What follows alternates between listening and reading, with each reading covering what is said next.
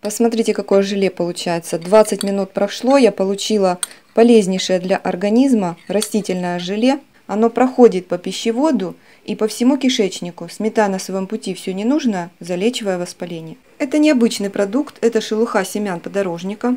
Это подорожник, который выращивают специально для того, чтобы из его семян изготавливать шелуху.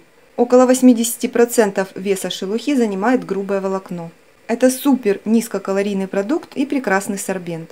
Люди, которые страдают непереносимостью глютена, добавляют выпечку шелуху подорожника. Она делает тесто плотнее, пористее. Можно добавлять в оладушки, блины, тем самым вы улучшите качество своей еды.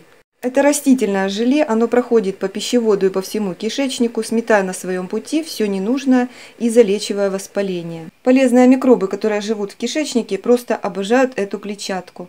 80% гормонов радости выделяется именно толстым кишечником. Псилиум почти не имеет собственный вкус и на 80% состоит из клетчатки, чем и ценен, потому что служит отличной пищей для полезной микрофлоры кишечника. Это низкоуглеводный и безглютеновый продукт. Благодаря свойству превращаться в гелеобразную массу или такую вот субстанцию, шелуха подорожника э, заменяет клейковину, то есть глютен. Но его не обязательно добавлять в выпечку, пол столовой ложки или одну чайную ложку – Завариваю кипятком полстакана и настаиваю 30 минут.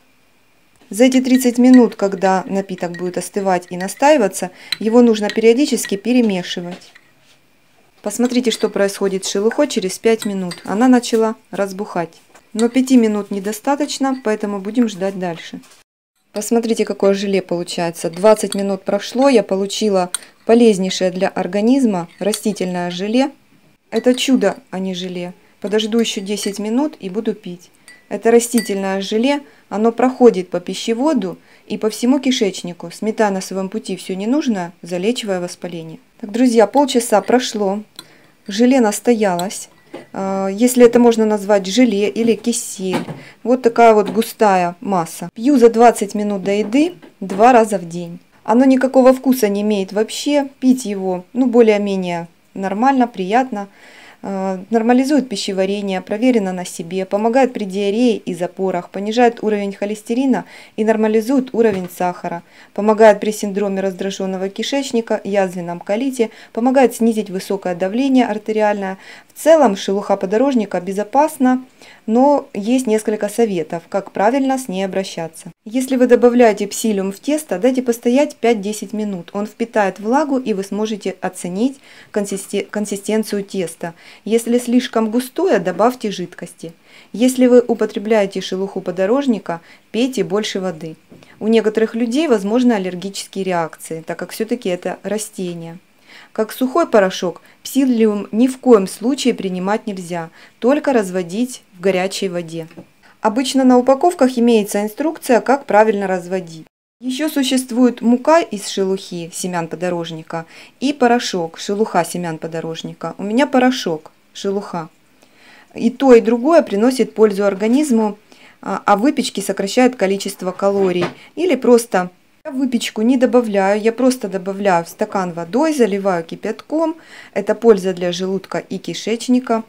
И, кстати, очень хорошо помогает. Это самая полезная клетчатка из всех пищевых волокон.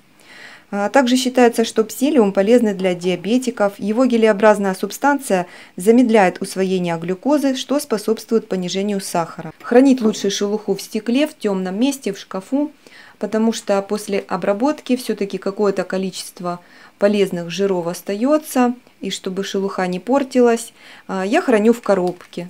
Вот как она продавалась, так я ее и храню. Если беспокоят боли в желудке, запоры, этот растительный кисель придет на помощь.